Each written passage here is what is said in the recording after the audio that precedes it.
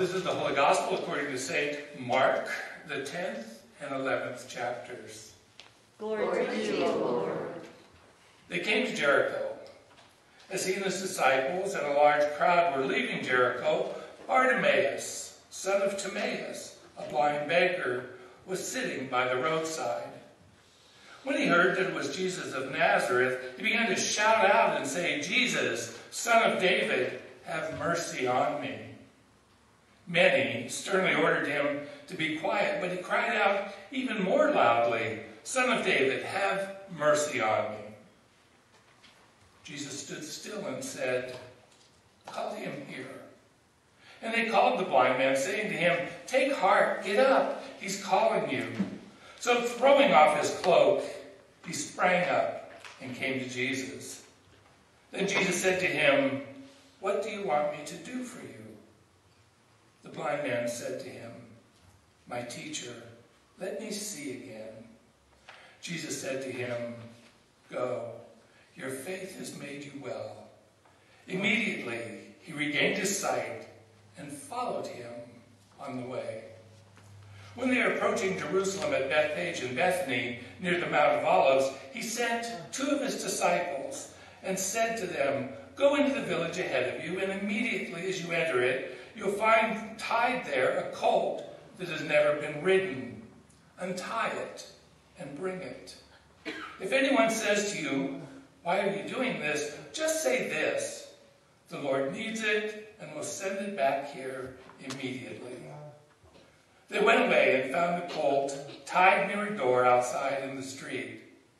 As they were untying it, some of the bystanders said to them, What are you doing untying that colt?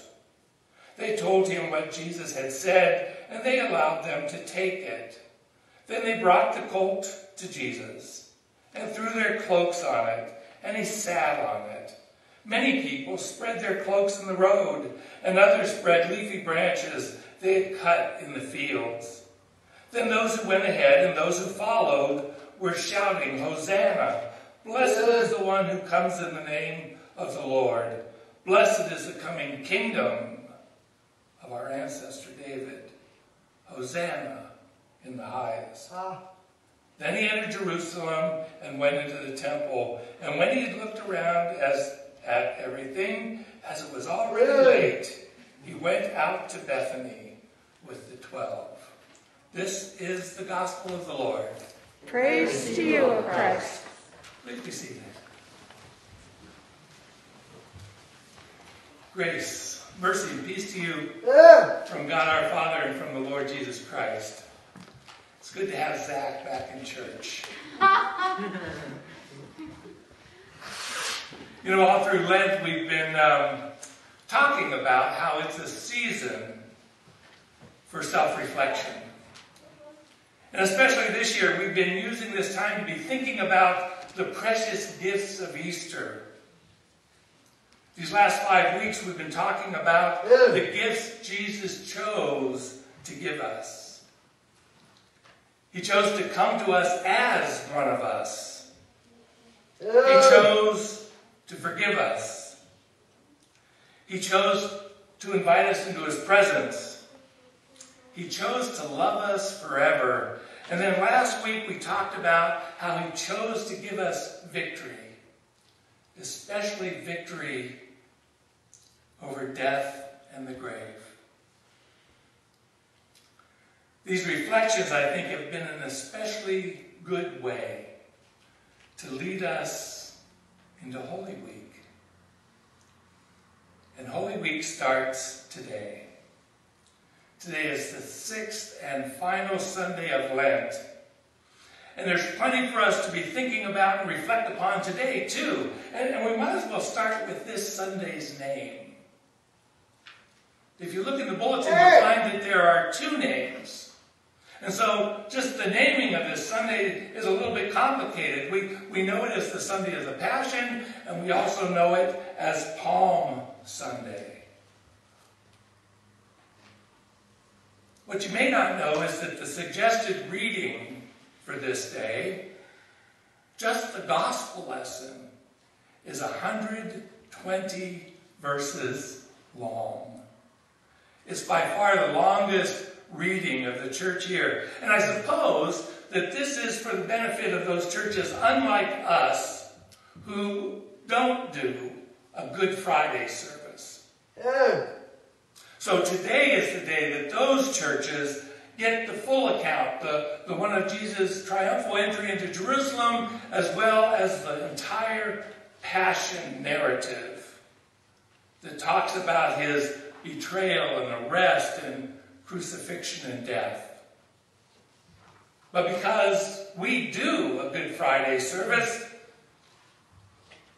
I decided to go a different direction. Lucky for you.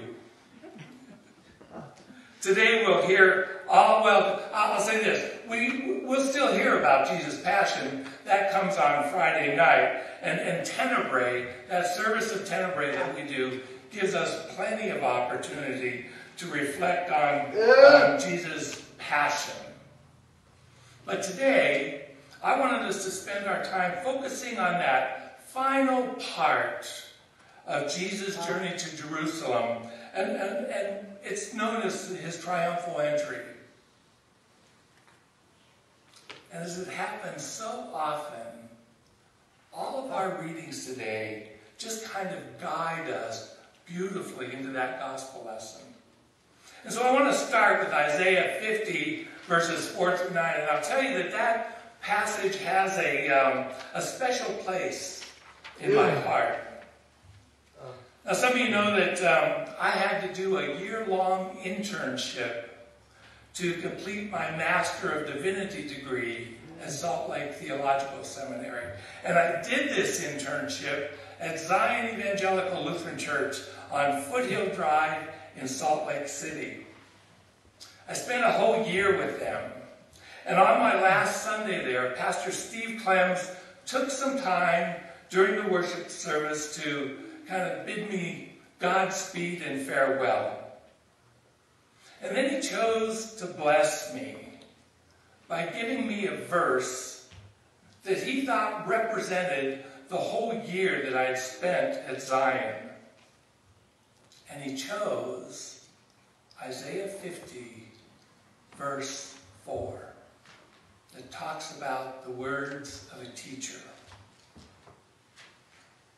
And especially today, I'm just struck by what Isaiah says is the whole point of the words of a teacher. They're to sustain the weary. Brothers and sisters in Christ, um, because of the coronavirus and all the economic uncertainty that came with it these last 12 months have made us all very weary. And I hope and pray that the gospel word that, that I've shared with you during these last months have helped sustain you. Oh, And to the extent that they didn't, oh, I apologize. But I'm glad to say that this season of weariness is coming to a close. I mean, we have been blessed with uh, uh, that in record time, we now have a vaccine that's been produced and approved. And that vaccine is going to make COVID 19 much, much less of a threat to us. And so, for that, we can be thankful. And we are. I think one of the ways this virus has made us all weary is the enforced isolation we've had to endure. But with those virus numbers dropping so dramatically and so many of us now getting our vaccination shots, I'm going to encourage all of us here, all of us online, to really consider coming back to church again. So that we can worship together face to face as a community of believers. After a year, I think we need to reestablish this habit of coming together as a family of faith.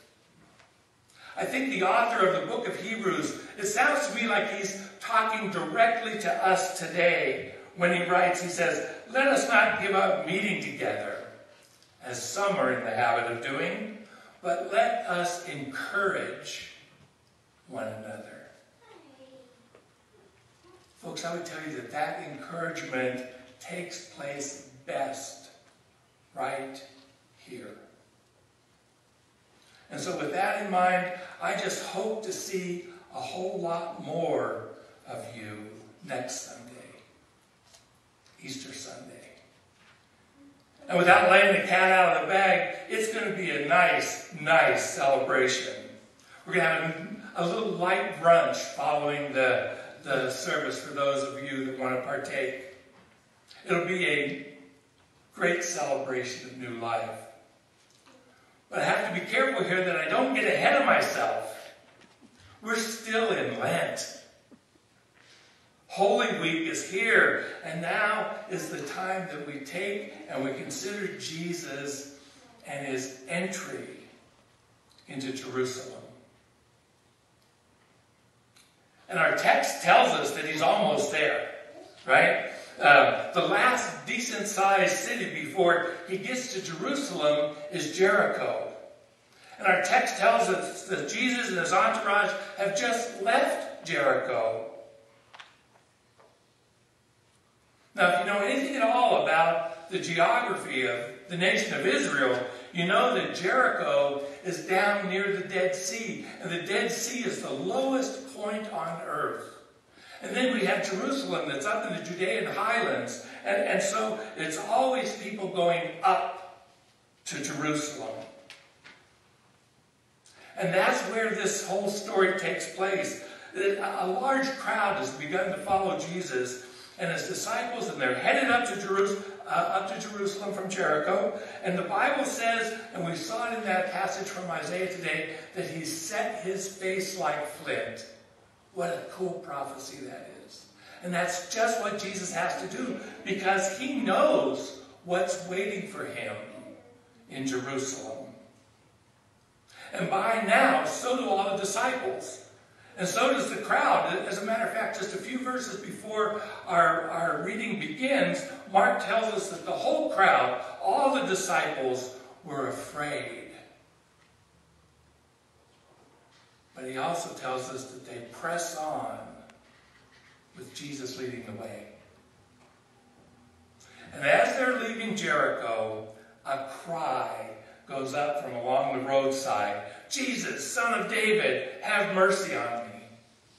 Somehow, blind Bartimaeus, this beggar, has heard about Jesus.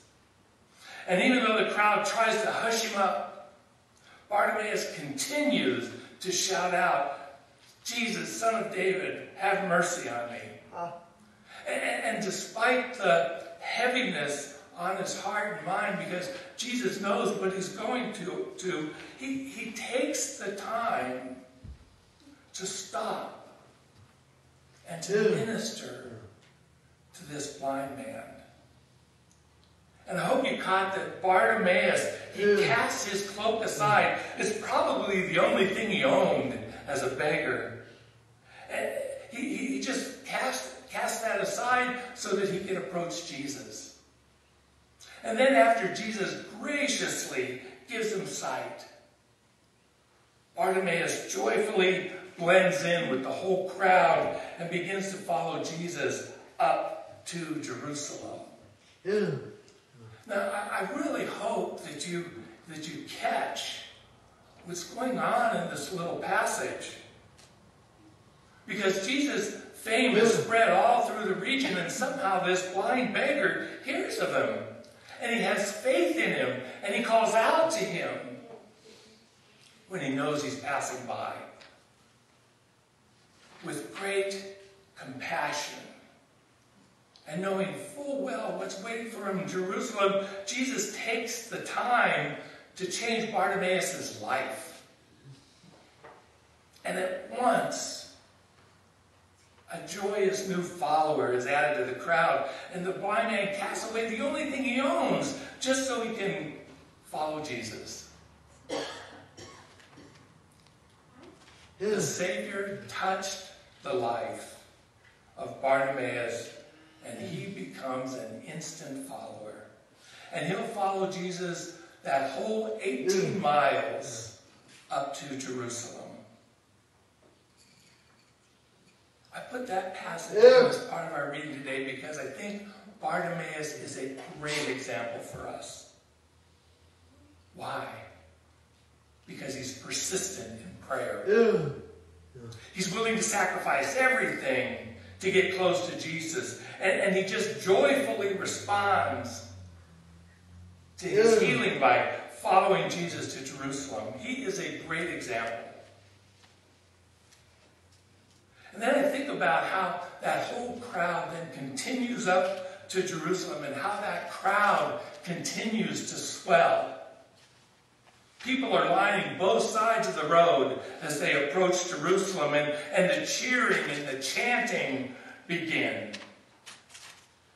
Eh, But I have to tell you, if all we had to go on was Mark's version of this story, we'd be pretty hard pressed, I think, to, to categorize it as a triumphal entry, entry. Because Mark only gives this whole story, this whole piece of the puzzle, four little verses. Starts at verse 7. He says, Then they brought the colt to Jesus and threw their cloaks on it, and he sat on it. Verse 8 Many people spread their cloaks on the road, and others spread leafy branches that they cut in the fields. Then those who went ahead and those who followed were shouting, Hosanna! Blessed is the one who comes in the name of the Lord. Blessed is the coming kingdom of our ancestor David. Hosanna in the highest. Four verses to tell this story as far as Mark is concerned. And it's kind of left to St. John and St. Luke and St. Matthew to complete this story and tell us about how the crowd waves palm branches at Jesus and, and how, how they're praising God so joyfully that the Pharisees demand that Jesus tell them to stop. And so if we put all four of these gospel together, accounts together, we can obviously classify this as a triumphal entry into Jerusalem by Jesus. But I have to tell you, we read these accounts today, and we do so knowing something that the crowd doesn't know back then. And if we really think about it, it causes us to, to really consider what's going on in this story. Because we know that those very same crowd who cheers Jesus on Sunday will jeer him and call for his execution in just five days. Palm Sunday, with all of its joy and all of its hosannas, is going to give way soon enough to the pain and the suffering and the passion of Good Friday.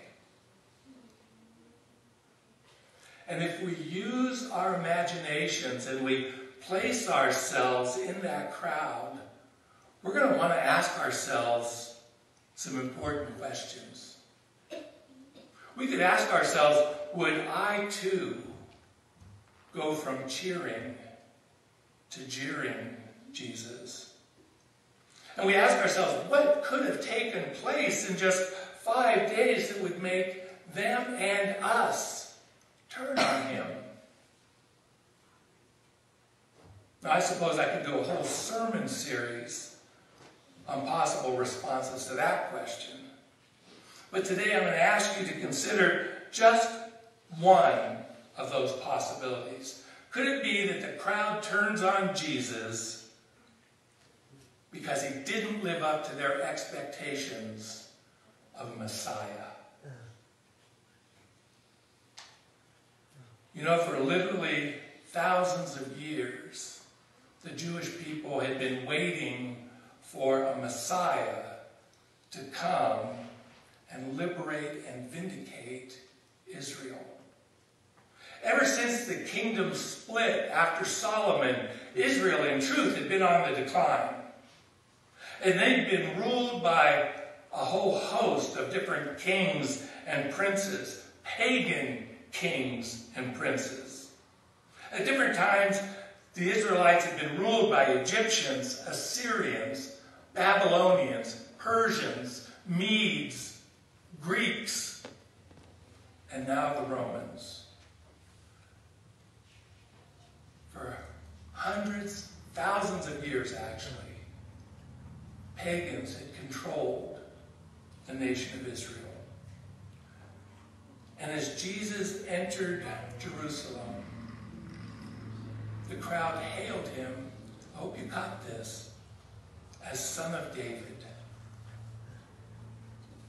The Israelites know David as a great warrior king. David is the one that united the 12 tribes and made Israel a strong, independent country. And they hoped that Jesus would also be a warrior who would liberate and, and, and make Israel again a very strong country. But you know, if they had paid attention, if they had seen the way that Jesus chose to enter the city, it would have been a clue to them that he wasn't going to be that kind of a Messiah. Jesus doesn't enter Jerusalem on a war horse behind a, uh, an armed chariot. Jesus enters Jerusalem the way the prophet Zechariah said he would gentle and riding on a donkey. And so I think part of the reason that the crowd turns on Jesus is that he didn't live up to their expectations of how Messiah was going to take care of business. And so if we're part of that crowd, we need to be asking ourselves, will I turn on Jesus? If he doesn't live up to how I think he should be taking care of my business? In our world today, failing to meet expectations can have catastrophic results. And so, what happens if our prayers for healing or employment or love or release from pain and worry and weariness, what happens if those prayers aren't answered the way we want them to be answered? What if Jesus fails to meet our expectations? Will we go from shouting Hosanna to crucify him? Will we go from waving palm, uh, palms before him to shaking our fists at him? I think these are the kinds of good questions that we can be asking ourselves during this time of self reflection of Lent.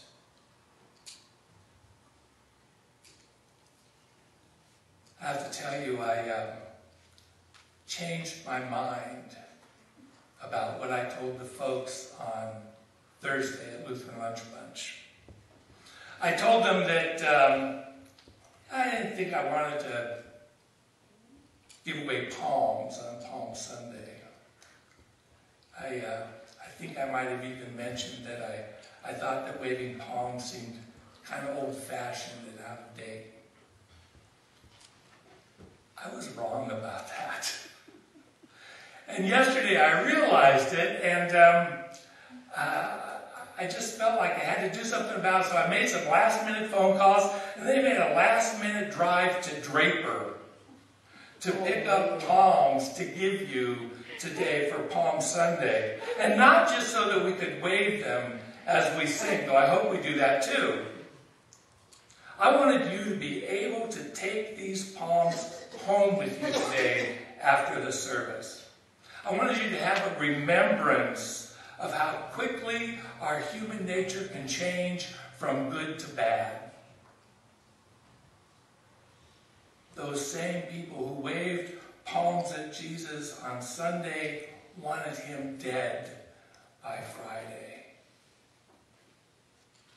And so during these days of Holy Week, I'm going to encourage you to look upon these palms and remember everything that Christ did for us, even though our human nature can so often be dark and fickle. And to that end, I want to do something a little bit different. I'd like to bless the palms for you. So right now I'm going to invite you to stand and take one of the palms if you grabbed one uh, as you came in. And uh, let's pray God's blessing on them. Gracious God, on this Palm Sunday, I ask you to bless the palms your people hold. May they remind us of all you did for us in Christ Jesus. When we look upon them in the days and weeks ahead, may we remember the joy of you coming into our lives. As we wave them, as we lay them at your feet, give us grateful hearts, ready to praise and serve you. Now, while you're still standing, I'm going to ask that you set your palm fronds down for just a second. And I'm going to ask you to kind of put your hands out before you. Look at the back of your hands. Now, some of you young folks, they're going to look strong. They won't have any blotches on them like some of us have. Maybe no wrinkles. Maybe they won't look too weary. And I'm going to ask you to turn your hands like this and to consider your own palms. They too need a blessing. Gracious God, I ask you to bless these palms that we lift to you in prayer, that we use to do your good work. Remind us when we look at them that these are the palms that you would have us lay before you. Huh?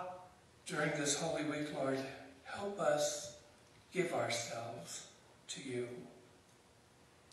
Bless and keep us safe as we journey with you to the cross and to the glories of Easter. Amen.